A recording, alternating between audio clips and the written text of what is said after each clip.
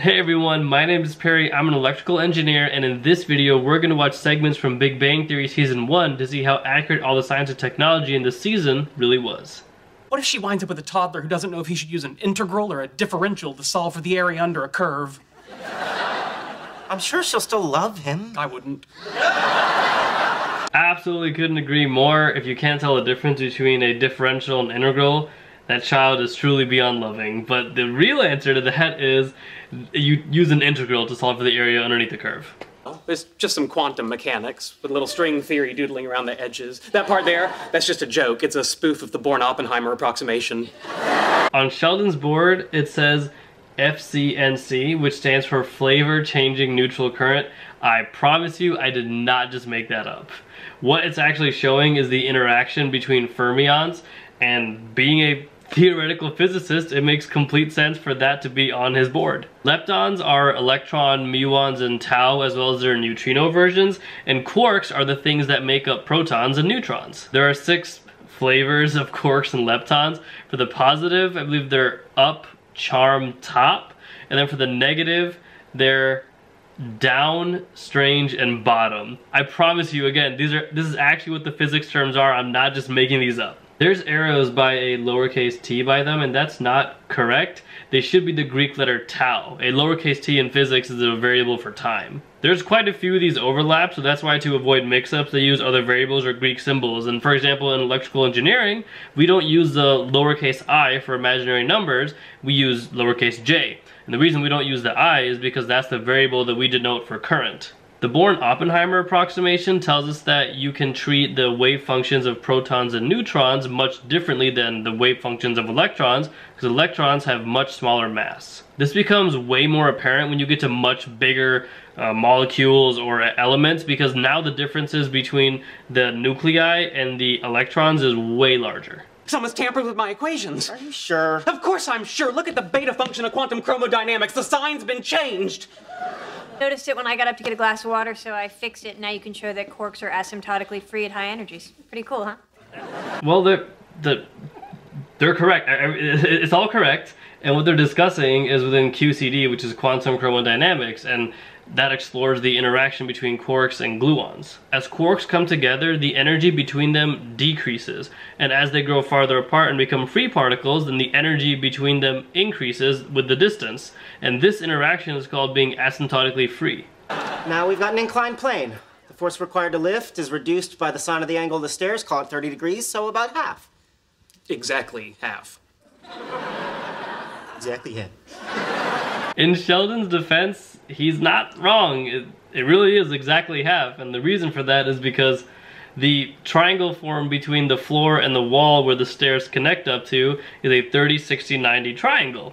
And you can use SOHCAHTOA, which is a, it's a trigonometry thing that was taught to, I think, a lot of people. So the first part of it is SO, which is SOH, meaning sine of opposite over hypotenuse.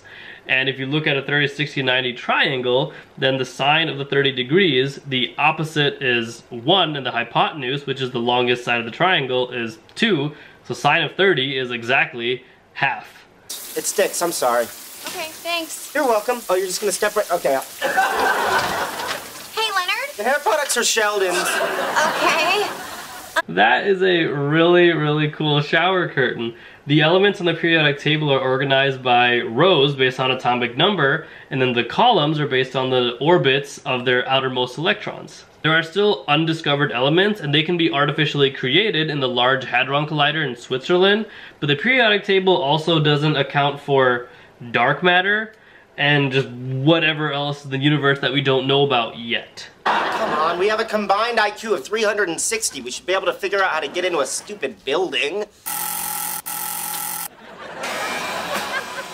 What do you think their combined IQ is? Grab the door! People who have very high IQs often lack in other areas in life, such as common sense or street smart. Common sense in general is quite rare, but especially when you've been surrounded by academia and just protons and neutrons and leptons and quarks, you get so caught up in high level STEM research that you can just forget everyday life and Girl Scouts will outsmart even theoretical physicists. This is not that uncommon. I'm trying to see how long it takes a 500 kilowatt oxygen iodine laser to heat up my cup of noodles. I've done it, about two seconds. 2.6 for minestrone.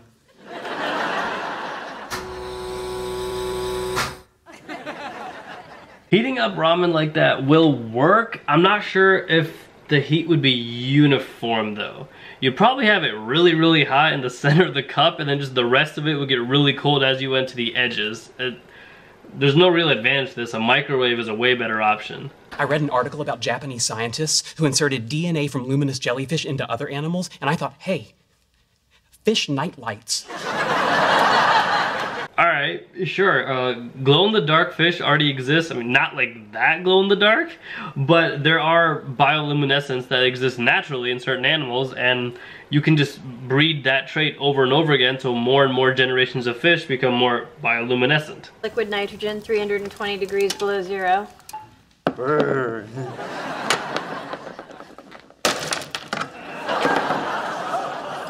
All right, there's there's no way. Uh, this will never be allowed in any lab.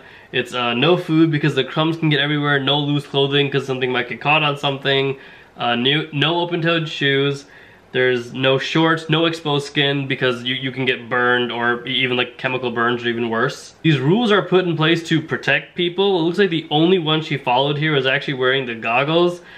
And that too is like, there, there's so much else wrong with this scene that this wouldn't happen. Don't forget his genetic predisposition towards addiction. That's never been proven. There have been studies. Not double-blind studies. How could there be a double-blind study? Who would be the control group? Well, all right, I guess that's a good point. Uh, a, a double-blind study is where neither the participants nor the researcher actually know who's being given the real test or a placebo effect. So for example, imagine that there's a new pharmaceutical drug being tested and the placebo effect has been already very well established. So the researcher would give the real drug to one group and the placebo to another. But in a double-blind study, the researcher themselves doesn't know which group got the real drug. Like so someone just said, here's a bunch of pills, give some there and give some there, but the researcher themselves doesn't know which group has the real one. And the reason you want to do it this way is because if the researcher was aware which group got the actual pill, then they might treat them a little bit differently, like make their questions more harsh, or just whatever sort of natural bias would come of it, the double-blind study would eliminate it because you can only go based off what the data shows. Gonna need a strong fourth for our team. You know who's apparently very smart is the girl who played TV's Blossom. she got a PhD in neuroscience or something. That's super cool. TV's Blossom is Amy Farrah Fowler. They talked about her in season one, but she didn't get on the show till season four. That, that's really cool foreshadowing. And the actor who plays her really does have a degree from UCLA in neuroscience. I have a master's in engineering. I remotely repair satellites on a regular basis. I troubleshoot space shuttle payloads.